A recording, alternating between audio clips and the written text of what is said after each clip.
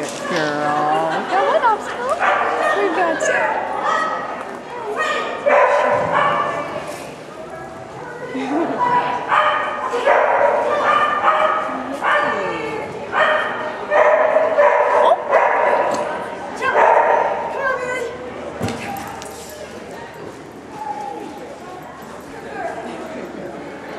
Sweet that person sticking out.